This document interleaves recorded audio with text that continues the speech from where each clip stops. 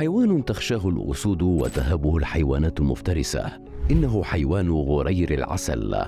يتميز بالشجاعة وله قدرات دفاعية وهجومية فريدة. جلده السميك يفرز مادة مخاطية تعمل على حمايته. ولديه غدد تنطلق منها رائحة نفاذة كريهة تساعده في طرد الحيوانات الأخرى بعيدا عنه.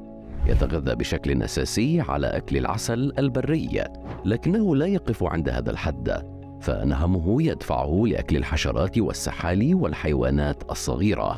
غرير العسل يهاجم الثعابين أيضا ولا يهمه إن كانت سامة. فهو يأكلها أيضا. يعيش هذا الحيوان بين الصخور وفي الحفر وفوق الأشجار ويتواجد في مناطق بجنوب وغرب آسيا وأفريقيا وشبه الجزيرة العربية وغيرها من الدول وينتمي إلى فصيلة ابن عرس.